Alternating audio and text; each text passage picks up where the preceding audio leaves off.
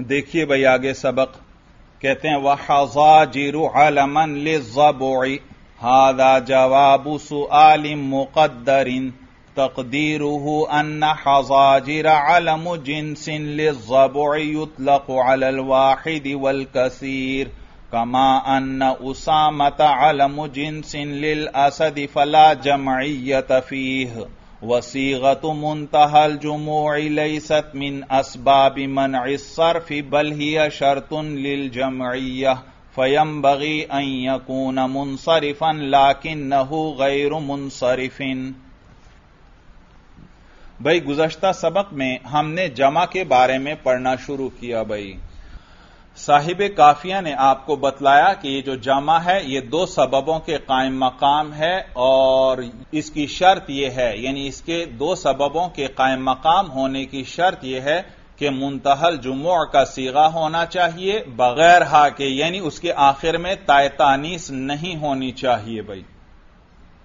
और मुंतहल जुमो जो है, इस सीगे को, मुंतहल जुमो का सीगा क्यों कहते हैं? मैंने वजह बतलाई थी कि इस पर जम तकसीर की इंतहा हो जाती है।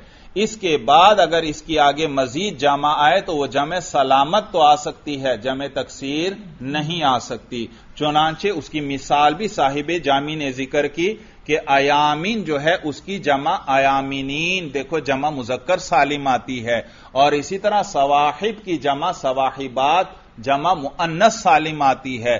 तो ये मुंतहल जुमो के सीगे हैं, लेकिन आगे इनकी जमे तकसीर नहीं आती, बल्कि जमे सालिम आती है भाई। और ये शर्त क्यों लगाई? वजह यह कि ये जो असबाब मनासरफ हैं, ये कलीमे को मुनसरिफ होने से निकाल देते हैं। यानी इसम को उसकी असल से निकाल देते हैं। लिहाजा उसके लिए कोई कवि सबब चाहिए। और जब यह सीगा आ जाएगा तो यह कवि सबब बनेगा, इसलिए क्योंकि अब कलीमा तब्दीली से महफूज हो गया, यानी आगे इसकी जम तकसीर नहीं आ सकती तो अब इसकी जमयत में कुत आ गई, अब यह मुअसर बनेगा भाई। और बगैर हा के हो, इसलिए क्योंकि अगर हा साथ जुड़ जाए तो फिर वह मुफरत का वज़न बन जाता है, जैसे फराजीनतुन भाई। इसके आखिर में गोलता है तो यह मुफरत का वज़न बन गया जैसे आलानियतुन, कराहियतुन तवायतुन ये सब मुफरद हैं भाई। और फिर मैंने यह भी बतलाया था कि यह मुंतहल जुमुआ का जो सीगा है इसकी सूरत मुराद है। यानी वज़न सूरी मुराद है, वज़न सरफी या वज़न अरूजी मुराद नहीं। एक होता है वज़न सरफी, जिसमें असली के मुकाबले में असली आता है, जायद के मुकाबले में जायद, और हरकत और सकनात भी बिल्कुल एक जैसी होती हैं। यानी फतहा के मुकाबले में फतहा, जम्मा के मुकाबले में जम्मा कसरा के मुकाबले में कसरा और सुकून के मुकाबले में सुकून आता है। जबकि दूसरा वज़न सूरी है। उसमें हरकत और सकनात तो एक जैसी होती हैं, लेकिन असली के मुकाबले में असली है या जायद है यह नहीं देखा जाता। जैसे मसाजिद, असाविर और जवारिब। तीनों के वज़न वज़न सरफी तो अलग अलग हैं, लेकिन वज़न सूरी तीनों का एक ही है। और तीसरी वज़न की किस्म जो है वो वज़न अरूजी है। वज़न अरूजी के अंदर हरकत और सकनात भी एक जैसी होना ज़रूरी नहीं। बस सिर्फ़ मुतहर्रिक के मुकाबले में मुतहरिक आना चाहिए और साकिन के मुकाबले में साकिन आना चाहिए। चाहे हरकतें अलग अलग हों भाई। जैसे शरीफ उन बरवज बरवजने फ़ूलन अब शरीफ उन में तो शीन पर जबर है और फ़ूलन में फा पर जम्मा है, लेकिन हरकतों को नहीं देखना कि अलग अलग हैं। बस सिर्फ़ यह देखना है कि मुतहरिक के मुकाबले में मुतहरिक होना चाहिए भाई। बात समझ में आ गई। अब आइए आज के सबक पर भाई। कहते हैं वह हजाजिर अलमन हादा जवाब सुआलिन मुकद्दरिन। भाई साहिब काफिया ने जबता आपको बतला दिया कि जमा जो है यह गैर इंसराफ का सबब बनेगी और यह दो सबबों के कायम मकाम है। लेकिन शर्त यह है कि सीगा जमा मुंतहल जुमो वाला होना चाहिए और बगैर हा के हो भाई, बगैर हा के तो इस पर इश्काल होता है कि हजाजिर हजाजिर यह आलम जिन्स है जबो के लिए भाई। आलम जिन्स है जबो के लिए। याद रखो, जबो जो है, ये अरबी ज़ुबान में एक तो ये लगड़ बगड़ को कहते हैं भाई। लगड़ बगड़ एक हैवान है भाई। कुत्ते के मुशाबे है, बल्कि कुत्ते से मामूली सा शायद बड़ा होगा। थोड़ा सा मामूली सा बड़ा होगा और इसकी शक्ल बड़ी करीह और खौफनाक होती है भाई। और कुत्ते के तो अगले और पिछले पाँव दोनों बराबर होते हैं, जबकि ये लगड़ बगड़ जो है इसके पिछले पाँव निस्बतन छोटे होते हैं अगले पाँव के मुकाबले में भाई। तो इसका पिछला हिस्सा थोड़ा सा नीचे को झुका हुआ होता है भाई, और यह बड़ा ही खौफनाक जानवर है भाई। तो इस लगड़ बगड़ को अरबी में जबो कहते हैं। लेकिन यहाँ जबो से लगड़ बगड़ नहीं मुराद, बल्कि यहाँ बिज्जू मुराद है। बिज्जू कहते हैं यह कोई और हैवान है, और इसको भी जबो कहते हैं भाई। तो जबो से यहाँ बिज्जू मुराद है भाई, और यह कोई और हैवान है, कहते हैं, इसका पेट बहुत बड़ा होता है।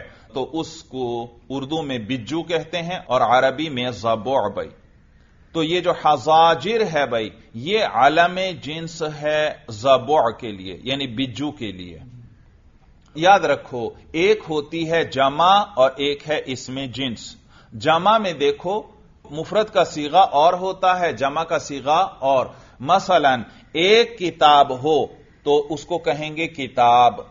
दो किताबें हो तो कहेंगे किताबानी। और जमा हो तो कहेंगे कुतुबुन। कुतुब कहेंगे। इसी तरह उर्दू में भी है, एक किताब हो तो किताब कहेंगे और ज़्यादा हो, उर्दू में तो चूँकि तस्निया है ही नहीं तो एक से जब ज़्यादा हो तो उसको किताबें कहेंगे। देखो लफ्स ही बदल गया। एक के लिए लफ्स है किताब और एक से ज़्यादा के लिए किताबें।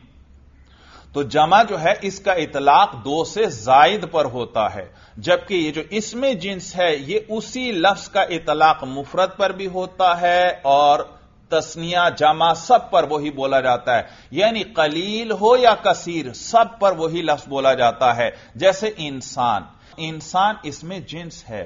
यह कलील पर भी बोला जाता है और कसीर पर भी। एक इंसान हो तो भी हम कहते हैं यह इंसान है। दो या ज़्यादा इंसान हो, तब भी हम कहते हैं ये इंसान है। देखा, वही लफ्ज इंसान मुफरत के लिए भी और तस्निया जमा वगैरह सब पर वो बोला जा रहा है।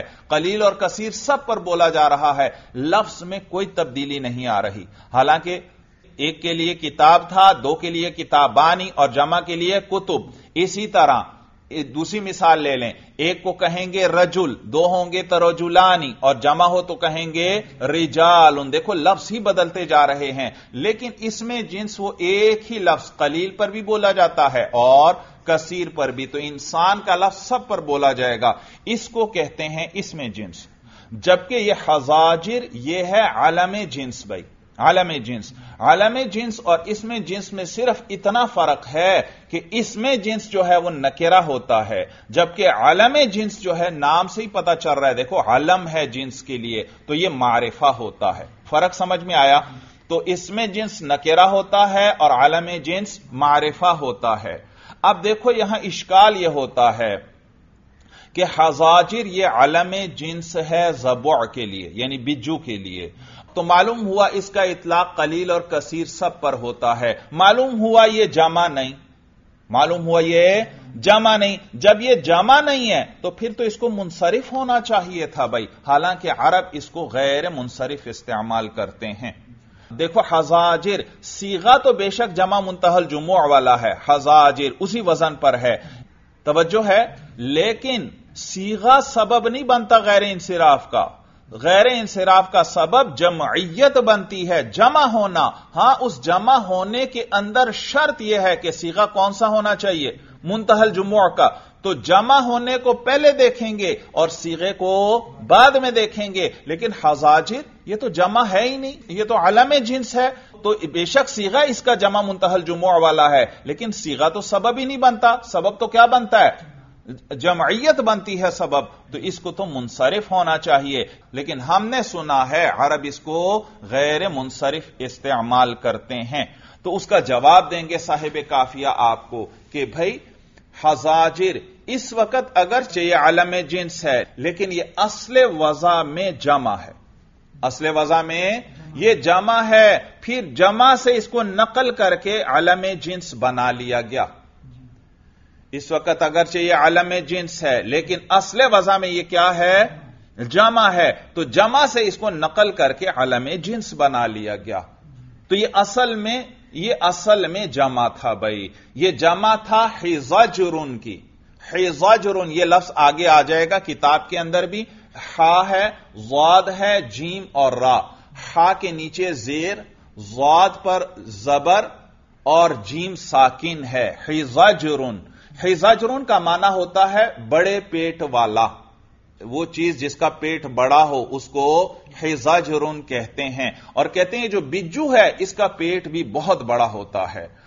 तो हिजाजरों की जमा क्या बनाई गई? हजाजिर। और फिर इस हजाजिर को नकल करके अलम जिन्स बना दिया गया बिज्जू के लिए। जब यह अलम जिन्स बन गया, अब इसका इतलाक कलील पर भी होता है और कसीर पर भी। मालूम हो एक बिज्जू हो, उसको भी क्या कहेंगे? हजाजिर। भाई, एक है फिर इसको हजाजिर कैसे कहेंगे? तो आपको बतलाएँगे कि इसका पेट अपने बाकी बदन के मुकाबले में बहुत बड़ा होता है। तो गोया के हर फर्द जो है, वो एक पूरी जमात है ये बड़े पेट वालों की।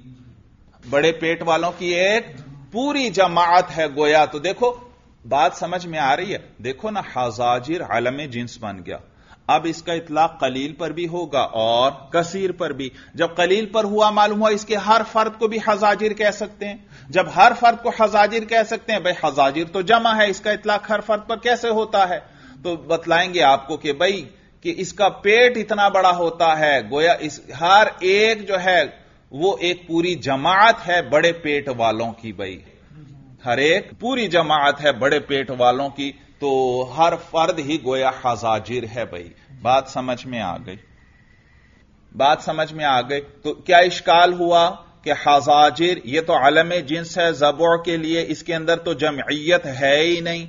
तो सिर्फ़ सीगा है, लेकिन सीगा तो सबब नहीं बनता। सबब तो जमयत बनती है तो इसको तो मुनसरिफ होना चाहिए, लेकिन हमने अरबों से इसको गैर मुनसरिफ सुना है। तो साहिब काफिया ने जवाब दे दिया कि ये फ़िलहाल अगरचे जमा नहीं, लेकिन असले वजह में ये क्या था? जमा। और फिर जमा से नकल करके इसको आलम जिन्स बनाया गया। तो गोया हासिल जवाब यह हुआ कि जमा होना आम है। चाहे फ़िलहाल जमा हो, चाहे असले वजा में जमा हो। मसाजिद और मसाबीह, ये तो फ़िलहाल जमा है, ये तो है ही गैर मुनसरिफ। अलबत् हजाजिर, वो फ़िलहाल तो अलम जिन्स है, लेकिन असले वजा में क्या है? जमा है, मालूम हुआ जमा होना आम है। चाहे फ़िलहाल जमा हो, चाहे असले वजा में जमा हो, दोनों सूरत में यह सबब बनेगी गैर इंसराफ का। बात समझ में आ गई। देखिए भाई अब किताब पर। कहते हैं वह हजाजिर आलमन लिजबोई जी, पहले सिर्फ़ मतन मतन देख लें। कहते हैं वह हजाजिर आलमन लिजबोई गैर मुनसरिफिन। और हजाजिर जो है आलमन इस हाल में कि यह अलम है लिजबोई बिजू के लिए गैर मुनसरिफिन, ये गैर मुनसरिफ है, लिअन्नहु मनकूल अनिल जमई, इसलिए क्योंकि इसको नकल किया गया है जमा से। कहाँ से नकल किया गया? जमा से, यानी असले वजह में यह जमा था। अब इसको नकल करके क्या बना लिया गया? आलम जिन्स बना लिया गया भाई। अब देखिए भाई शरा के साथ कहते हैं वह हजाजिर अलमन जबोई हादा जवाब सुआल मुकदरिन हजाजिर इस हाल में कि आलम है, जबो के लिए यह जवाब है एक सवाल मुकद्दर का तकदीर जिसकी तकदीर यह है भाई। तकदीर और तकरीर दोनों तरह पढ़ा जाता है इसको भाई। तकदीर अगर पढ़ें तो माकबल में सुआल मुकद्दर की बात आई तो ये उसके साथ इसकी मुनासिबत आ गई। और अगर तकरीर पढ़ें एक सवाल मुकद्दर है, उसकी तकरीर यह है तो यह मशहूर ज़्यादा इसी तरह है कि इसको तकरीर पढ़ते हैं। तो बहरहाल दोनों तरह पढ़ा जा सकता है भाई इसको। तो कहते हैं, हादा जवाब सुआल इन मुकद्दरिन ये जवाब है एक सवाल मुकद्दर का। भाई यहाँ सवाल पैदा होता है ना? आपने हमें क्या कहा? गैर इंसराफ का सबब जमा बनेगी। और उसके लिए शर्त क्या है? सीगा मुंतहल जो मौका होना चाहिए। तो हजाजिर, इसमें तो जमयत है ही नहीं तो इसको तो मुनसरिफ होना चाहिए भाई। तो वही अब सवाल की भी तकरीर करेंगे और आगे फिर जवाब भी ज़िक्र होगा भाई। तो कहते हैं, हादा जवाब सुआल इन मुकदर इन ये एक सवाल मुकद्दर का जवाब है। तकदीर सवाल की तकदीर यह है, या तकरीर उस सवाल मुकद्दर की तकरीर यह है कि अन्न हजाजिरा आलम जिनसिन जबोई कि हजाजिर आलम जिनस है जबो यानी बिजू के लिए, युतलक वाहिद वल कसीरी। इसका इतलाक एक पर भी होता है और कसीर पर भी, यानी इसको बोला जाता है वाहिद और कसीर पर। कमा अन्ना उसामत अलम जिनसिन लिल असद। जैसे कि उसामा अलम जिन्स है लिल असदी शेर के लिए। याद रखो, उसामा का लफ्ज जो है यह आलम जिन्स है शेर के लिए। किसके लिए? शेर के लिए। और तो इसीलिए यहाँ देखो उसामता एक इसमें आलमियत आ गई, एक तानीस आ गई ताबी साथ है। तो इसको गैर मुनसरिफ पढ़ेंगे भाई। कमा अन्ना उसामता अलम जिन्स लिल असदी। जैसे कि उसामा जो है वो आलम जिन्स है, असद यानी शेर के लिए। फला जमयत फ़ी तो इसके अंदर कोई जमयत नहीं है। इसके अंदर? भाई, इसका ताल्लुक उसामा से ना समझना कि उसामा के अंदर जमयत नहीं है। बल्कि उसामा को तो सिर्फ़ मिसाल के तौर पर ज़िक्र किया। बात चल रही है हजाजिर की। पीछे बताया कि हजाजिर आलम जिन्स है। यह कलील और कसीर पर बोला जाता है। जैसे कि उसामा का लफ्ज है। यानी यह भी उसी की तरह है। फला जमयत फ़ी ही लिहाजा हजाजिर के अंदर जमयत नहीं है। वो जमा नहीं है। वसीगत मुंतहल जुमो लई सत मिन असबाब मन सरफी। और मुंतहल जुमो का सीगा तो इसबाब मना सर्फ में से नहीं है बल्कि यह शर्त लिल जमयती बल्कि यह तो जमयत के लिए शर्त है। फयम्बगी यकून मुनसरिफन। तो मुनासिब यह है कि हजाजिर को मुनसरिफ होना चाहिए लाकिन न हो गैर मुनसरिफिन। लेकिन वो तो गैर मुनसरिफ है। यानी अरबी ज़ुबान में किस तरह इस्तेमाल होता है? गैर मुनसरिफ इस्तेमाल होता है। वह तकरीर उल जवाबी। और जवाब की तकरीर यह है कि अन्न हजाजिर हाल कौन ही अलमन जब गैर मुनसरिफिन। यह आप देख रहे हैं भाई, अन्न हजाजिरा हाल कौन ही आलमन। ये वही मतन में जो ऊपर आया था। वह हजाजिर आलमन ले जबोई बतलाया था कि यह जवाब है सवाल मुकद्दर का। अब उसी इबारत को ज़िक्र कर रहे हैं, लेकिन मतन में आया था हजाजिर आलमन। और साहिब जामी आगे क्या फरमा रहे हैं कि जवाब की तकरीर यह है कि अन्न हजाजिरा हाल कौनी ही आलमन ले जबोई कि हजाजिर इस हाल में कि यह अलम है जबो के लिए। बतलाना यह चाहते हैं कि मतन में जो अलमन लफ्ज आया था वह हाल वाक़ हो रहा है। भाई तो कहते हैं, वह तकरीर उल जवाबी और जवाब की तकरीर यह है कि अन्ना हजाजिर हाल कौनी आलमन जबो गैर मुनसरिफिन। कि हजाजिर इस हाल में कि यह जबो के लिए अलम है, गैर मुनसरिफिन। यह गैर मुनसरिफ है। लालिल जमयतिल हालियति बल्लिल जमयतिल असलियति। जमयत हालिया की वजह से नहीं, यानी फ़िलहाल तो यह जमा नहीं है, फ़िलहाल तो यह आलम जिन्स है। बल्लिल जमयतिल असलियति, बल्कि जमयत असलिया की वजह से, यानी असल में यह जमा था ली अन्नहु मनकूल उन अनिल जमई। इसलिए क्योंकि इसको नकल किया गया है जमा से।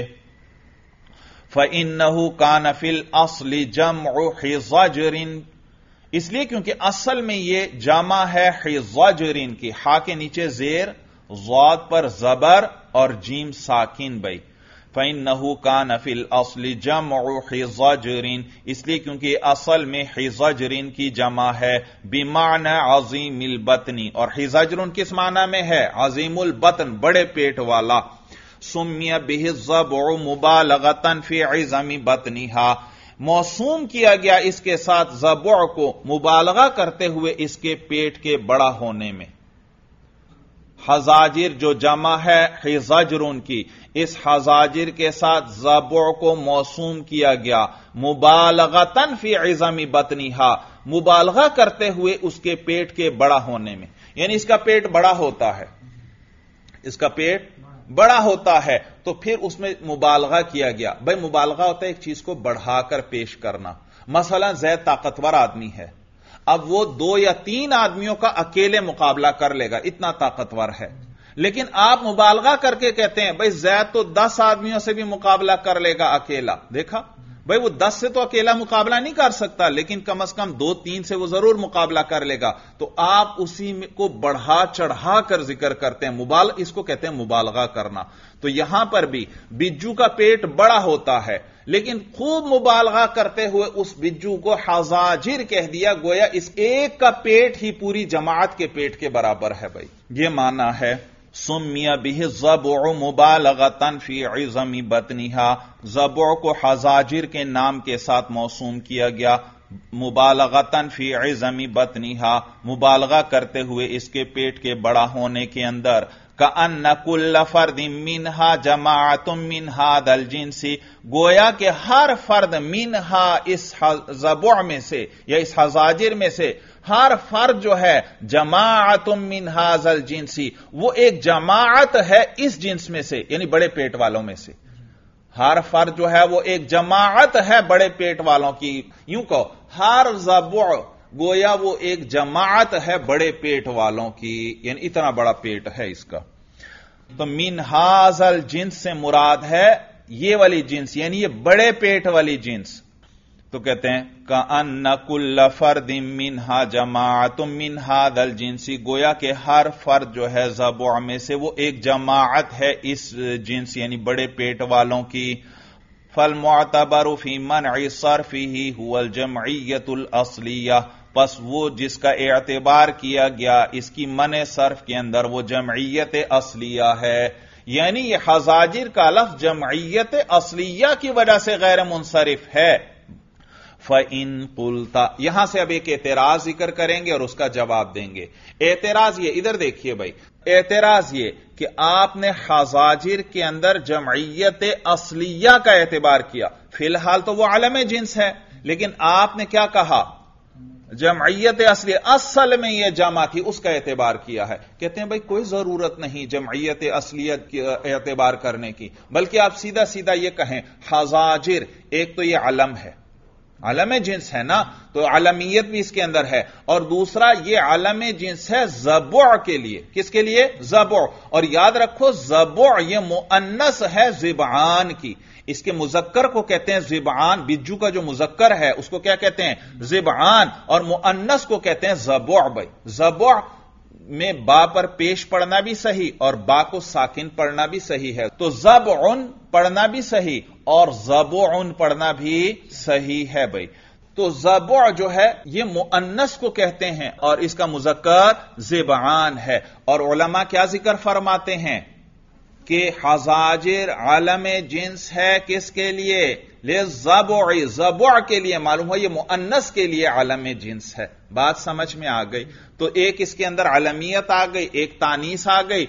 जब दो सबब आ गए तो अब आप यूँ कहें कि ये दो सबब हैं इसके गैर मुनसरिफ होने के। जमयत असलिया वाला जवाब देने की कोई ज़रूरत नहीं, क्योंकि इस वक्त तो यह आलम जिन्स है। तो आपको जवाब क्या देना पड़ा कि हाँ, फ़िलहाल तो आलम जिन्स है, लेकिन असल में यह क्या थी? जमा थी। तो जमयत असलिया वाला जवाब दिया। कहते हैं, कोई जमयत असलिया के साथ जवाब देने की हाजत नहीं है। बल्कि आप कहें कि इसमें दो सबब हैं, एक आलमियत और एक तानीस भाई। तो उसका जवाब देंगे। जवाब यह देंगे कि इसके अंदर अलमियत है, लेकिन यह अलमियत मुअसर नहीं है। यह गैर इंसराफ का सबब नहीं बन रही। भाई क्यों? गैर इंसराफ का सबब क्यों नहीं? कहते हैं इसलिए, क्योंकि जहाँ पर अलमियत मुअसर होती है, गैर इंसराफ का सबब बनती है, वहाँ अगर उस लफ्ज से अलमियत को खत्म कर दिया जाए तो फिर वो लफ्ज वो लफ्ज मुनसरिफ बन जाता है। वो लफ्ज क्या बन जाता है? भाई एक लफ्ज है, उसके अंदर अलमियत सबब बन रही है, गैर इंसराफ का। तो जब उसके अंदर से अलमियत खत्म कर दें तो उस लफ्ज को क्या बन जाना चाहिए? मुनसरिफ बन जाना चाहिए। जैसे भाई तलहा तो तलहा के अंदर एक सबब अलमियत है और एक ताय तानीस है। लेकिन यही तलहा अगर पूरी जमात का नाम रख दें तो अब यह नकेरा बन गया। क्या बन गया? अब अलम नहीं, मारिफा नहीं। भाई मारिफा तो उसको कहते हैं ना, जो किसी मुआयन जात पर दलालत करे। आपका एक साथी है, उसका नाम है तलहा। मैं जैसे ही तलहा कहता हूँ, आपके जहन में फ़ौरन वो साथी आ जाता है। तो मालूम हुआ, देखो, ये आलम है, मारिफा है, एक मुआयन जात पर दलालत कर रहा है। लेकिन अगर मैं पूरी एक जमात का नाम तलहा रख दूँ, दो या तीन या चार का नाम क्या कर दूँ? तलहा रख दूँ। अब जब मैं आपसे कहता हूँ कि मेरे पास तलहा आया था, कोई आपको पता चलेगा कौन सा तलहा आया? अब आपको पता ही नहीं चलेगा। तो मालूम हुआ, जब एक जमात का नाम रख दिया जाए तलहा तो अब उससे अलमियत खत्म हो जाएगी। क्या हो जाएगी? अलमियत खत्म हो जाएगी। मसन एक जमात है तीन चार तलबा हैं सबका नाम तलहा रख दिया गया भाई। अब मैंने आपसे कहा जा अनी तलहा तुन मेरे पास एक तलहा आया था भाई। देखो, आपको पता चला कौन सा तलहा आया है? नहीं, इसीलिए मैंने इसको तलहतुन तनवीन के साथ पढ़ा, क्योंकि यह नकेरा है भाई। तो आलमियत नहीं है। तानीस है, लेकिन एक सबब से तो लफ्ज गैर मुनसरिफ नहीं बनता। तो जा अनी तलहतुन, मैंने कहा। और तर्जमा क्या किया? मेरे पास एक तलहा आया था अब एक साथी सामने आया। आपने मेरे से पूछा, क्या ये वाला तलहा आया था? मैंने कहा, नहीं जा अनी तलहा तुन आखरू। मेरे पास कोई दूसरा तलहा, एक दूसरा तलहा आया था भाई। देखा तलहा तुन आखरू, उसकी सिफत भी मैं क्या ले आया? आखर ले आया भाई। नकेरा की सिफत नकेरा ले आया, नकेरा ले आया। तो देखो, बात यह चल रही थी, जिस लफ्ज के अंदर आलमियत मुअसर होती है और गैर इंसराफ का सबब बनती है, उससे जब आलमियत को खत्म कर दिया जाए और एक जमात का नाम रख दिया जाए वो तो फिर उससे आलमियत खत्म हो जाती है और वह नकेरा बन जाता है। तो कहते हैं, हजाजिर के अंदर ऐसा नहीं है। हजाजिर के अंदर अलमियत मुअसर नहीं है। इसलिए क्योंकि जब हजाजिर हम इससे तारीफ़ खत्म करते हैं, एक जमात का नाम हजाजिर रखते हैं तो जब अलमियत खत्म हो गई, अब इसको क्या बनना चाहिए? मुनसरिफ बनना चाहिए। लेकिन यह फिर भी गैर मुनसरिफ ही रहता है, मुनसरिफ नहीं बनता। मालूम हुआ, अलमियत इसके अंदर है तो लेकिन वह गैर इंसराफ का सबब नहीं बन रही। अगर गैर इंसराफ का सबब बन रही होती, फिर तो नकेरा बनाने के बाद इसको मुनसरिफ हो जाना चाहिए था, लेकिन यह मुनसरिफ नहीं बनता। तो मालूम हुआ इसके अंदर आलमियत मुअसर नहीं। और नीज, आपने क्या कहा कि हजाजिर आलम जिन्स है जबुआ के लिए, और जबुआ मुअन्नस को कहते हैं। कहते हैं, भाई, मुअन्नस के लिए इसका आलम जिन्स होना मुसलम नहीं। तस्लीम नहीं। इसलिए क्योंकि यह मुजक्कर और मुन्नस सबके लिए इस्तेमाल होता है। मालूम हुआ कि यह मुन्नस के लिए आलम जिन्स नहीं है, बल्कि मुजक्कर और मुन्नस सब के लिए है। तो मालूम हुआ इसके अंदर आलमियत भी मुअसर नहीं, और इसके अंदर तानीस भी नहीं है, क्योंकि यह मुजक्कर मुन्नस दोनों के लिए इस्तेमाल होता है। तो हासिल यह हुआ कि हजाजिर के अंदर जो गैर इंसराफ है, वो जमयत असलिया की वजह से है, अलमियत और तानीस की वजह से नहीं है भाई। देखिए भाई किताब पर। कहते हैं फ़िन कुल तला हाजत फ़ी मन सरफी इलाबार जमयतिल असलियती। अगर आप ये कहें कि कोई ज़रूरत नहीं है, हजाजिर की मन सर्फ के अंदर जमयत असलिया का एतबार करने की फ़िन नफी हिल आलमीयत व तानीसा इसलिए क्योंकि इसके अंदर आलमियत और तानीस है। इसके अंदर आलमियत और तानीस है। लिअन जबुआ उनस जिबानी इसलिए क्योंकि जब जो है वो मुअन्नस है जिबान की।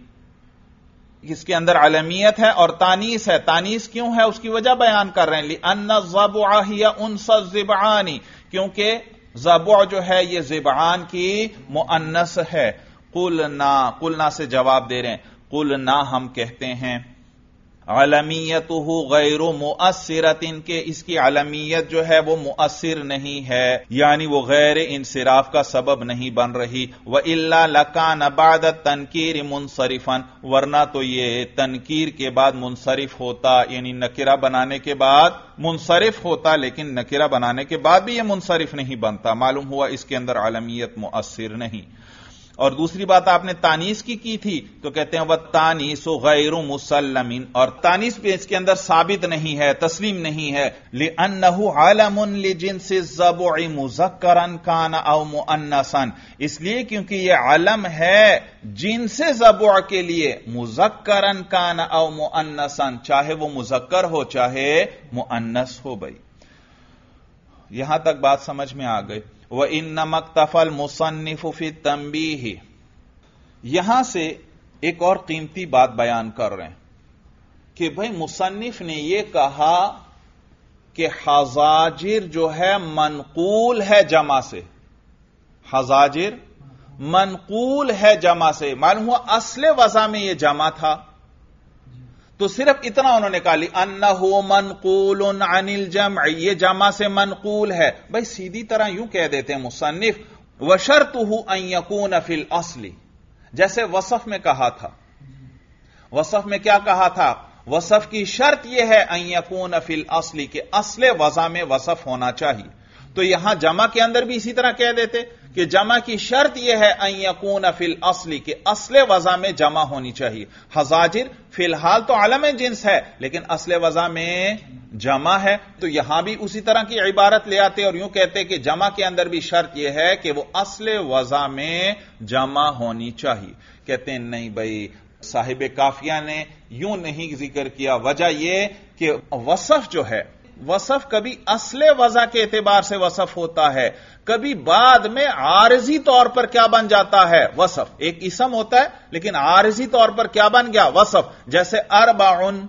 अरबाउन असले वजह में तो वसफ नहीं, लेकिन कभी कभी इस्तेमाल किस तरह हो जाता है? वसफ के तौर पर। तो फिर तो इस तरह जमा के अंदर भी यह वहम पैदा होता। अगर वो ऐसी इबारत मुसन्निफ ले आते कि असले वजा के अंदर जमा होना चाहिए। फिर तो जमा के अंदर भी यह वहम पैदा होता कि जमा भी गोया मालूम हुआ कभी असले वजह के एतबार से जमा होती है और कभी आरजी तौर पर जमा इस्तेमाल हो जाती है। हालाँकि जमा तो कभी भी आरजी तौर पर इस्तेमाल नहीं होती। जमा तो जब भी होगी, हमेशा असले वजा के एतबार से ही जमा होगी। इसीलिए मुसन्निफ ने यह नहीं फरमाया कि वह शर्त हो यकून फिल असली, कि जमा की शर्त यह है कि वह असले वजा में वसफ हो।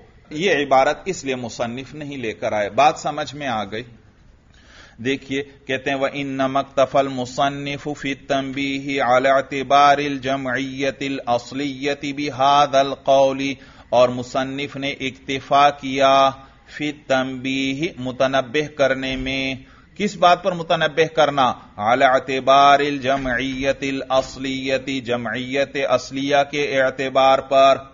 भाई देखो मुसन्फ ने मुसन्फ ने बतलाया हमें हमें मुतनबह किया कि जमयत असलिया मोतबर है। इस पर हमें मुतनबह किया किस तरीके पर? लिअन मनकुल जमई, कहा। तो कहते हैं वह इन नमक तफल मुसन्निफ फ़ी तंबी ही अलातिबारिल जमयतिल असलियति बिहाद अल कौली और मुसन्निफ ने जमयत असलिया के एतबार करने पर मुतनबह किया अपने इस कौल के ज़रिए। वलम यकुल, और ये नहीं फरमाया, अल जम शर्त यकून फिल असली के जमा की शर्त यह है कि वह असले वजा में जमा हो। इस तरह नहीं फरमाया। कमा काल फिल वसफी, जैसे कि किसमें फरमाया था? वसफ में फरमाया था, ली अल्लाह युतवहमा कहते हैं, ताकि कहीं यह वहम न किया जाए कि अन्नल जमयत कल वसफी कत तकून असलीयतन मुतबरतन ताकि यह वहम न किया जाए कि जमा होना भी वसफ की तरह है। कद तकून असलियतन मोतबरतन कभी तो वह असली होता है मोतबर होता है। वक़द तकून आरिजतन, गैर मोतबरतिन और कभी वो आरजी होता है जमा होना और गैर मोतबर होता है। ताकि कहीं यह वहम ना पड़े, इसलिए यह इबारत नहीं लेकर आए। वलईसल अमरु कजालिक। और हाल यह है कि मामला ऐसा नहीं है कि जमयत कभी असली हो और कभी आरजी हो, मामला ऐसा नहीं है। कहते हैं वलईसल अमरु कजालिक और मामला ऐसा नहीं है। इदला फिल जमयती। इसलिए क्योंकि जमा के अंदर आरजी होने का तस्वुर नहीं किया जा सकता। एक लफ्ज असले वजा में जमा नहीं है, लेकिन आरजी तौर पर उसको जमा के लिए इस्तेमाल कर लिया जाए। जैसे एक इसम असले वजह में तो वसफ नहीं है, लेकिन आरजी तौर पर क्या इस्तेमाल कर लिया जाए वसफ? तो जमा के अंदर ऐसा नहीं है कि असले वजह में जमा ना हो और आरजी तौर पर जमा के लिए इस्तेमाल कर लिया जाए। इसका तस्वुर जमा में नहीं हो सकता। कहते हैं लायु तस्वरुलूरूज फिल जमयती इसलिए क्योंकि जमा के अंदर उरूज, यानी आरिज होने का तस्वुर नहीं किया जा सकता। यहाँ तक बात समझ में आ गई। तो हासिल जवाब यह हुआ जमा सबब बनता है गैर इंसराफ का। और इसके लिए शर्त यह है कि सीगा मुंतहल जुमो का हो और बगैर हा के हो। लेकिन यह जमा होना आम है, चाहे फ़िलहाल जमा हो, जैसे मसाजिद और मसाबिह फ़िलहाल ही क्या है? जमा। या असले वजा के एतबार से जमा हो। तो जमा होना आम है, चाहे फ़िलहाल जमा हो, चाहे असले वजा में हो। हजाजिर फ़िलहाल तो जमा नहीं, लेकिन असले वजा में जमा है भाई। आगे देखिए, कहते हैं वह सरावीलु जवाब अनसु आलिम मुकद्दर इन तकदीरूहु अयुकाल अनिल इश्कालिल वारिद अला काइदतिल जमई बिहजाजिरा. यहाँ से एक और एतराज़ का जवाब देंगे भाई। एतराज़ होता है सरावील के बारे में। सरावील याद रखो, अरबी ज़ुबान में शलवार को कहते हैं, शलवार और पाजामा भाई। तो सरावील ये इसमें जिन्स है, कलील और कसीर सब पर बोला जाता है। एक शलवार हो या एक पाजामा हो, उसको भी सरावील कहते हैं। और ज़्यादा हो, उनको भी सरावील कहते हैं। तो सरावील इसमें जिन्स है भाई। तो इश्काल होता है कि, ए साहिब काफिया, आपने हमें बताया कि गैर इंसराफ का सबब जमा है और सीगा जो है उसके लिए शर्त है। जमा मुंतहल जुमुआ का सीगा उसके लिए शर्त है। तो फिर सरावील का गैर मुनसरिफ क्यों है भाई? सरावील जो है, ये तो असले वजह के एतबार से भी जमा नहीं और फ़िलहाल भी जमा नहीं। हजाजिर में तो आपने जान छुड़ा ली थी, ये जवाब देकर के फ़िलहाल तो जमा नहीं है। फ़िलहाल तो आलम जिन्स है, लेकिन असले वजा में क्या था? जमा था। लेकिन सरावील में क्या जवाब देंगे? ये भी इसमें जिन्स है। कलील और कसीर सब पर बोला जाता है, और ना ये फ़िलहाल जमा है, और ना असले वजा में जमा है। इश्काल समझ में आया? भाई, याद रखो, ये जो सरावील है, ये इसके अंदर उलमा का इख्तिलाफ है। बाज फरमाते हैं ये मुनसरिफ है और बाज फरमाते हैं ये गैर मुनसरिफ है। हाँ, ज़्यादातर इस्तेमालात में ये गैर मुनसरिफ ही है भाई। तो अगर ये मुनसरिफ हो, तवज्जो है, फिर तो कोई इश्काल ही नहीं, क्योंकि ये सरावील, सीगा तो जमा मुंतहल जुमुआ का है, लेकिन वो सीगा तो सबब नहीं है। सीगा तो सबब नहीं बनता गैर इंसराफ का, बल्कि सबब तो जमयत बनती है, जमा होना जो है वो सबब बनता है गैर इंसराफ का। तो मुनसरिफ होने की सूरत में तो इस पर कोई इश्काल ही नहीं, क्योंकि ये जमा ही नहीं। ये इसमें जिन्स है, जब जमा नहीं तो इसको होना भी क्या चाहिए? मुनसरिफ होना चाहिए, लिहाजा उस सूरत पर तो कोई इश्काल वारिद नहीं होता। इश्काल वारिद होता है गैर मुनसरिफ होने वाली सूरत पर, क्योंकि ना ये असले वजह में जमा है और ना फ़िलहाल जमा है तो फिर ये कैसे गैर मुनसरिफ है भाई? तो उसका जवाब देंगे आपको और बतलाएँगे साहिब काफिया कि भाई इसके ओलमा ने दो जवाब दिए हैं। बाज ओलमा फरमाते हैं कि यह सरावील का लफ्ज अरबी है ही नहीं यह अजमी लफ्ज है। फिर इसको नकल किया गया अरबी ज़ुबान की तरफ़। और अरबी ज़ुबान में जब इसको लेकर आए तो देखा कि यह तो मसाबीह और अनाईम, यानी जमा मुंतहल जुमुआ के वज़न पर है। तो इसकी सूरत उन जैसी थी इसकी सूरत उन जैसी थी, इसका वज़न उन जैसा था तो अपने हम वजनों पर महमूल करते हुए इसको भी गैर मुनसरिफ पड़ा गया। तो बाज उलमा ने क्या जवाब दिया कि यह असल में अरबी लफ्स ही नहीं है, बल्कि आजमी लफ्स है, और आजमी ज़ुबान से इसको नकल किया गया अरबी ज़ुबान के अंदर, और फिर देखा गया तो इसका वज़न तो मुंतहल जुमुआ वाला वज़न है। तो इसको उन्होंने जमा मुंतहल जुमुआ वाला हुक्म ही दे दिया। और जमा मुंतहल जुमो तो दो सबबों के कायम मकाम है, वो गैर मुनसरिफ है। तो इसको भी क्या पढ़ा? गैर मुनसरिफ पढ़ा। बात समझ में आ गई। यानी इसको अपने हम वजनों पर महमूल किया। इसके हम वज़न मसाबीह और अनाइम वगैरह गैर मुनसरिफ थे तो इसको भी क्या पढ़ा? गैर मुनसरिफ पढ़ा। बात समझ में आ गई। गैर मुनसरिफ पढ़ा। इस पर फिर इश्काल होता है। कि भाई, इसका तो मतलब है असबाब मनासरफ नौ नहीं, बल्कि दस बन गए भाई। दस बन गए, क्योंकि सरावील को गैर मुनसरिफ पड़ा गया। और इसके अंदर जमयत है? नहीं। कोई और दो सबब हैं? नहीं। तो देखो, फिर भी इसको गैर मुनसरिफ पढ़ा जा रहा है। और किस वजह से गैर मुनसरिफ पढ़ा जा रहा है? अपने हम वजनों पर महमूल किया गया। इसके हम वज़न मसाबीह और अनाइम वगैरह गैर मुनसरिफ थे तो इसको भी क्या पढ़ा गया? गैर मुनसरिफ। मालूम हुआ असबाब मनासरफ दस होने चाहिए। दस होने चाहिए, क्योंकि इसमें तो एक भी सबब नहीं है, सिर्फ़ सीगा है, और सीगे की वजह से तो कोई लफ्ज गैर मुनसरिफ नहीं बनता, क्योंकि इसके अंदर तो नौ असबाब में से कोई भी सबब नहीं है। आपने इसके गैर इंसराफ की क्या वजह ज़िक्र की? अपने हम वजनों पर महमूल किया गया। मालूम हुआ न इसके अंदर अदल है, न वसफ है, न तानीस है, न मारिफा, न उजमा, न जमा वगैरह कोई भी चीज़ नहीं है।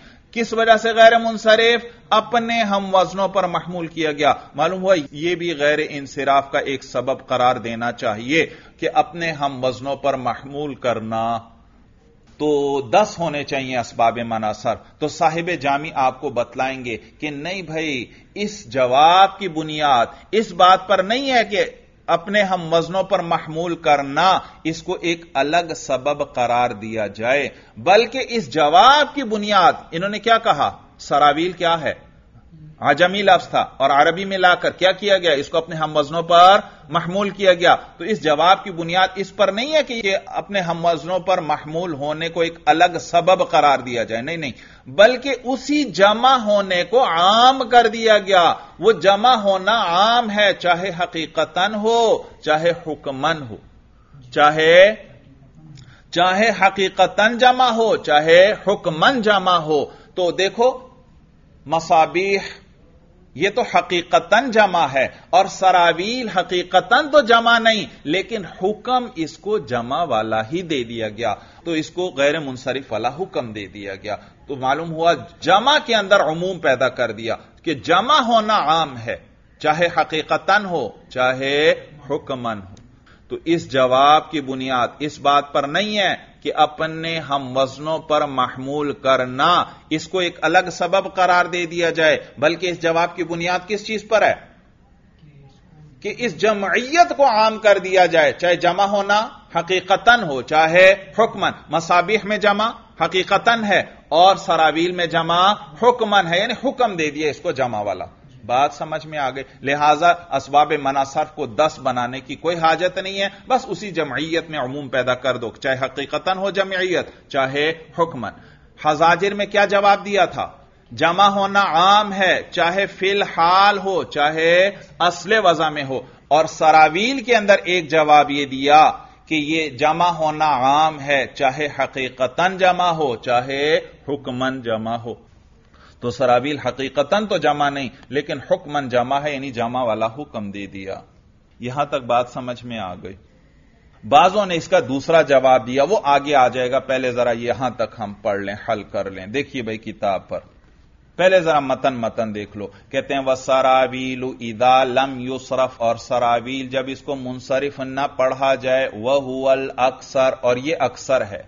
यानी अक्सर इस्तेमालात में ये किस तरह है? गैर मुनसरिफ है। तो कहते हैं, सरा व सरावील इदा लम यूसरफ, और सरावील जब गैर मुनसरिफ हो वह अक्सर, और ये अक्सर है फ़कद कीला, अब ये पहला जवाब दे रहे हैं। फ़कद कीला तो कहा गया है आजमी युन के सरावील, एक आजमी इसम है, हुमिला अला मुआजिनी ही जिसको महमूल किया गया है अपने हम वजनों पर। इसको महमूल किया गया है अपने हम वजनों पर, भाई, अपने हम वजनों पर। आगे भी मतन देख लें, वकील हुआ अरबी जम सिरवा लतिन तकदीरन। बाज उलमा ने दूसरा जवाब दिया। वो फरमाते हैं कि यह सरावील आजमी लफ्स नहीं है, बल्कि यह अरबी लफ्स ही है भाई। अरबी लफ्स ही है। जब अरबी लफ्स है तो फिर तो भाई ये इसमें जिन्स है, जमा है ही नहीं तो फिर ये गैर मुनसरिफ कैसे है? तो वो जवाब देते हैं कि भाई सरावील अरबी लफ्स ही है। लेकिन चूँकि ओलमाए नह का जबता है कि ये वाला जो वज़न है, बगैर जमयत के ये गैर इंसराफ का सबब नहीं बनता। जमा होगी तो उसके बाद फिर यह वज़न देखा जाएगा और गैर इंसराफ का सबब बनेगा। लेकिन सरावील को तो अरब क्या करते हैं? गैर मुनसरिफ इस्तेमाल करते हैं ज़्यादातर। तो ओलमा नहव ने अपने जबते को बचाने के लिए इसके अंदर जमयत को फ़र्ज़ कर लिया कि फ़र्ज़ कर लो, सरावील जमा है सिरवालतुन की। किस लिए फ़र्ज़ किया? अपने जाबते को बचाने के लिए कहते हैं, भाई, फ़र्ज़ कर लो। ये सरावील भी क्या है? सिर सिरवालतुन की जमा है, भाई सिर सिरवालतुन की। तो कहते हैं, वकील अरबी जमो सिरवालतिन तकदीरन। और कहा गया है कि ये जो सरावील है, ये अरबी इसम है जम सिरवालतिन तकदीरन। और ये तकदीरन सिरवालतुन की जमा है। कद्दर युकद्दिर तकदीरन का माना है फ़र्ज़ करना, कि फ़र्ज़ कर लो कि ये क्या है? सिरवालतुन की जमा है भाई। सिरवालतुन याद रखो, कपड़े के टुकड़े को कहते हैं अरबी ज़ुबान में। कपड़े का कोई भी टुकड़ा हो, उसको सिरवालतुन कहते हैं। तो इस पर फिर इश्काल होता है भाई, कि आपने क्या कहा? कि ये सरावील अरबी लफ्ज ही है, लेकिन इसके अंदर जमयत को फ़र्ज़ कर लिया गया कि यह सिरवालत उनकी जमा है भाई। यह सिरवालत उनकी जमा है। तो इस पर इश्काल होता है भाई कि शलवार तो कपड़े के कई टुकड़ों से मिलकर बनती है। कपड़े के कई टुकड़ों को जोड़कर, मिलाकर, सीकर, फिर शलवार बनाई जाती है। तो फिर तो यह हकीकतन सिरवालतुन उनकी जमा हुई। इसको तो हकीकतन सिरवालतुन उनकी जमा कहना चाहिए। तो याद रखो कि हकीकतन यह सिरवालतुन की जमा नहीं है, इसलिए क्योंकि सिरवालतुन कपड़े के हर टुकड़े को कहते हैं। चाहे वो शलवार में हो, चाहे किसी और चीज़ में। हर टुकड़े को क्या कहते हैं? सिरवालतुन फिर तो हर वो चीज़ जिसको कपड़े के टुकड़ों से जोड़कर सीकर बनाया जाए, उसको सरावील कहना चाहिए। हालाँकि हर चीज़ को सरावील नहीं कहते भाई, वरना तो कमीज को भी क्या कहना चाहिए? सरावील कहना चाहिए भाई। तो मालूम हुआ, ये जो सरावील को सिरवालतुन की जमा करार दिया यह हकीकतन नहीं है, बल्कि तकदीरन है, यानी फ़र्ज़ कर लें। तो हासिल ये कि इस जवाब की बुनियाद इस बात पर है कि जमा होना आम है, चाहे हकीकतन हो, चाहे तकदीरन हो। चाहे तकदीरन हो। भाई देखो ना, दो जवाब दिए सरावील के। पहला जवाब क्या? कि आजमी लफ्ज है। लेकिन हुक्म जमा वाला दे दिया तो जमा होना आम है, चाहे हकीकतन हो, चाहे हुक्मन। दूसरा जवाब क्या कि यह अरबी लफ्ज ही है, लेकिन फ़र्ज़ कर लो ये किसकी जमा है? सिरवालतुन की जमा है। मालूम हुआ जमा होना आम है, चाहे हकीकतन हो, चाहे तकदीरन हो भाई। बात समझ में आ गई। अब देखिए भाई, ऊपर दोबारा देखिए शरा के साथ। कहते हैं वह सरावीलु जवाबुन अनसो आलिन मुकदरिन ये जवाब है एक सवाल मुकद्दर का, तकदीरूहू। यहाँ भी उसी तरह, तकदीरूहू भी पढ़ सकते हैं और तकरीरूहू भी। इस सवाल की तकरीर यह है, या इस सवाल की तकदीर यह है अयुकाल कि यूँ कहा जाए कतफ़सैतानिल इश्काल वारिद अला काइदतिल जमई की तहकीक आपने जान छुड़ा ली। तफस्सा, या तफस्सा के माने हैं जान छुड़ाना। कि यूँ कहा जाए कतफसई ताकि ए साहिब काफिया, आपने जान छुड़ा ली, अनिल इश्काल वारिदी, अला काइदतिल जमई भी हजाजिरा। वो जो इश्काल होता था, जमा के कजाबते पर हजाजिर के ज़रिए। हजाजिर के ज़रिए इश्काल होता था। आपने सबब किसको करार दिया है? जमा को। और हजाजिर तो जमा ही नहीं है। वहाँ साहिब काफिया ने क्या जवाब देकर जान छुड़ाई थी? कि जमा होना आम है, चाहे फ़िलहाल हो, चाहे असले वजा में हो। तो कहते हैं कत वारिदी अला काइदतिल जमई भी हजाजिरा कि आपने जान छुड़वा ली थी, वो जो इश्काल वारिद हो रहा था जमा के कानून पर भी हजाजिरा, हजाजिर के ज़रिए बिजालिल जमई आम मिन अयकून फिल हाल फिल असली बई सूरत के करार दिया था आपने जमा को, कि वो जमा होना जो है आम हो, मिन अयकून फिल हाल औ फिल असली, यानी फ़िलहाल जमा हो औ फिल असली या असल में हो। इबारत समझ में आ रही है। बिजालिल जमई आम जमा को ज़्यादा आम करार देते हुए, मिन अयकून फिल हाल औ फिल असली, यानी के जमा चाहे फ़िलहाल हो, चाहे असल में हो। हजाजिर में क्या जवाब दिया था कि जमा होना आम है, चाहे फ़िलहाल हो, चाहे असल में हो। फमा तकूल फ़ी सरावील तो आप क्या फरमाते हैं सरावील के बारे में? फ़ैन हुस्म जिनसी युतलक वाहिद वल कसीरी वला जमयत फीह। इसलिए क्योंकि इसमें जिन्स है, जिसका इतलाक वाहिद पर भी होता है, और कसीर पर भी। वला जमयत फ़ी हिला फ़िलहाल वला फिल असली, और इसके अंदर जमयत नहीं है। ना तो फ़िलहाल है और ना असल में है। फाजाबत तो उसका जवाब दिया, साहिब काफिया ने भी अनहू कदी खुतुलफी सर्फ ही व मन ही मिन की तहकीक इख्तिलाफ किया गया है, फ़ी सर्फ ही फ़ी सर्फ सरावीला सरावीला की सर्फ में, व मन ही और सरावीला की मना में मिन हो ऐ मिन सर्फी। इबारत पे नज़र है, व मन ही मन ही की हाँ जमीर राजे है सरावील को। और सरावील का मना करना मीन हु मीना सर्फी यह हाजमी राजे है सर्फ को। और सरावील को सर्फ से मना करना। फिर इबारत देखें फ़ाजाब बी अन्नहु कदिख्तुलिफा सरफी ही व मन ही मिन हो तो उसका जवाब दिया साहिब काफिया ने कि तहकीक इख्तिलाफ किया गया है सरावीला की सर्फ में व मन ही मिन हो और उसकी मन सर्फ के अंदर। फहुआ इदा लम युसरफ वहुअल अक्सर। बस जब उसमें सर्फ न हो, यानी वो गैर मुनसरिफ हो वह अक्सर। इस हाल में कि यह ज़्यादा है। जब इसकी सर्फ मना हो यह इस्तेमाल ज़्यादा है, यानी ज़्यादातर इस्तेमालात में यह गैर मुनसरिफ ही आया है भाई। तो कहते हैं, इदा लम युसरफ, जब इसकी सर्फ न हो वह अक्सर, और इस हाल में कि यह ज़्यादा है, भाई, ज़्यादा है, क्या माना ज़्यादा है? कहते हैं, फ़ी मवार दिल इस्तेमाल, यानी इस्तेमाल की जगहों में।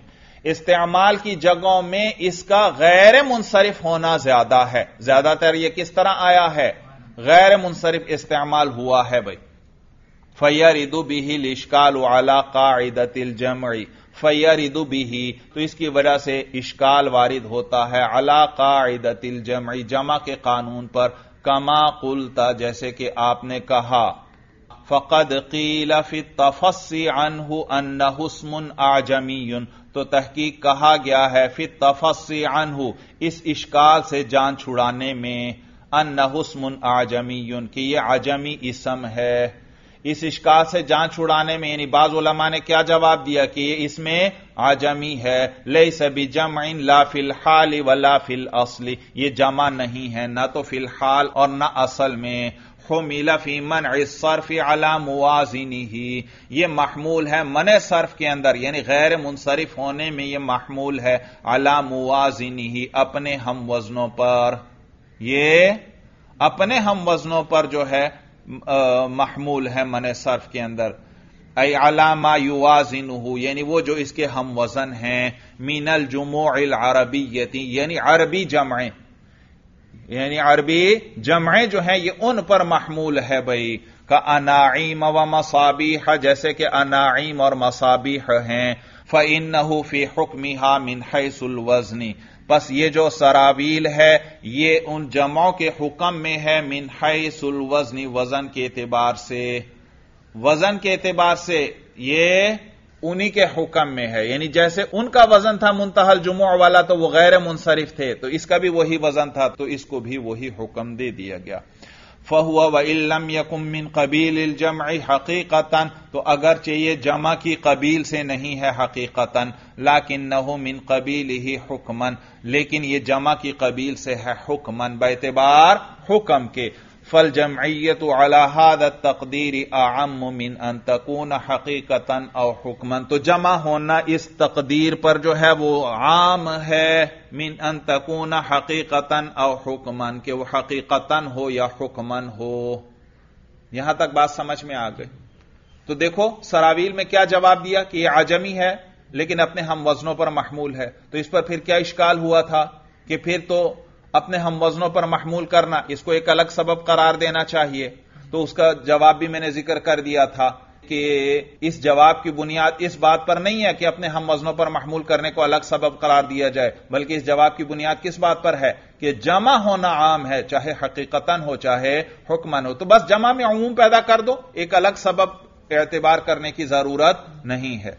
तो कहते हैं, फबिना उहादल जवाबी अला तमीमिल जमयती तो इस जवाब की बुनियाद जो है जमयत के अंदर अमूम पैदा करने पर है। ला अला ज्यादती सबबिन आखरा अलल असबाब इतिसाती इस जवाब की बुनियाद इस बात पर नहीं है कि एक और सबब को बढ़ा दिया जाए, असबाब तिसा पर, यानी नौ सबबों पर।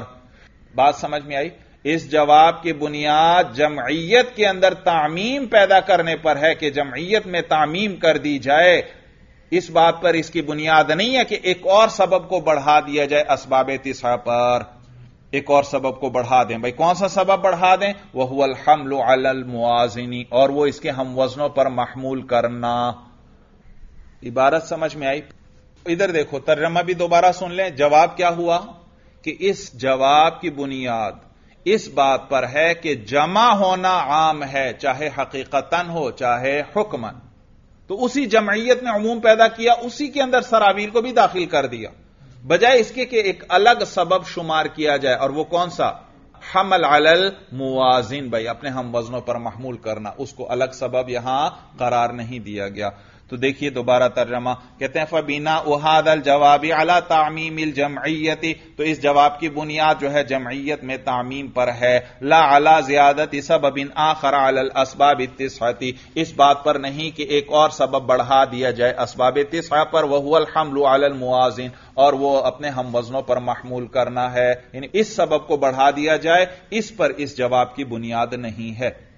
आगे देखिए, कहते हैं, वकील हुसमुन अरबी और कहा गया है कि ये जो सराबील है, ये अरबी इसम है ले सभी जम इन तहकीकन, ये हकीकता जमा नहीं है। लिन हुस्म वाहिद वल कसीरी। इसलिए क्योंकि इसमें जिन्स है, जिसका इतलाक वाहिद और कसीर पर होता है। लाकिन नहू जमो सिरवालतिन तकदीर व फर्जन। लेकिन यह सिरवालतुन की जमा है तकदीर व फर्जन। तकदीरन और फर्जन। देखो, मतन में आया था तकदीरन। आगे व फर्जन यह साहिब जामी फरमा रहे हैं। यह है अतफ तफसीरी भाई तकदीरन का माना बयान कर रहे हैं। एक सूरत यह थी, यूँ कहते, तकदीरन आई फर्जन। लेकिन आई के बजाय क्या ले आए? व ले आए। तो यह अतफ तफसीरी है। याद रखो मातूफुन अलह अलग होता है और मातूफ अलग। लेकिन कभी दोनों एक ही चीज़ भी होते हैं और वो अतफ तफसीरी में है। तकदीरन और फर्जन एक ही चीज़ है, एक ही मान, बस वही तकदीरन का माना फर्जन के ज़रिए कर दिया भाई। तो कहते हैं लाकिन नहू जम सिरवालतिन तकदीर व फर्जन, लेकिन यह तकदीरन सिरवालतुन की जमा है, यानी फ़र्ज़ करते हुए। फ़ैन नहूलम जिदा गैर मुनसरिफिन, इसलिए क्योंकि जब इसको गैर मुनसरिफ पाया गया व मिन और नहवी हजरात का नहवी उलमा का कानून है और कायदा है, जबता है कि अन नहाद अलवज न बिदून जमयती लम यम सरफा, कि ये वाला वज़न जो है, बगैर जमा होने के ये सर्फ को मना नहीं करता, यानी मुनसरिफ होने को मना नहीं करता। तो कुदिरा तो फ़र्ज़ कर लिया गया तो कुदिरा का नाई फ़ाइल आगे आ रहा है। क्या फ़र्ज़ कर लिया गया कि अन्नहु जम सिरवालतिन, ये है कुदिरा का नाई फ़ाइल है भाई। तो कुदिरा का नाई फ़ाइल आगे आ रहा है, अन्नहु जम सिरवालतिन, ये फ़र्ज़ कर लिया गया कि यह सिरवालतुन की जमा है। क्यों? हिफजन लिहाज हिल कायदती इस कायदे की हिफाजत करने के लिए। इस कायदे की? भाई, नहवी हजरात का कानून और जबता है कि ये वाला सीगा, ये वाला वज़न बगैर जमयत के गैर इंसराफ का सबब नहीं बनेगा, बल्कि जमयत ज़रूरी है यह सीगा उसके लिए शर्त है भाई। सरावील, ये तो अरबी लफ्स है, इसमें जिन्स है, इसमें तो जमयत ही नहीं है तो फिर यह कैसे गैर मुनसरिफ है? तो अपने जबते को बचाने के लिए उन्होंने क्या कहा कि फ़र्ज़ कर लो, ये जमा है किसकी? सिरवालतुन की।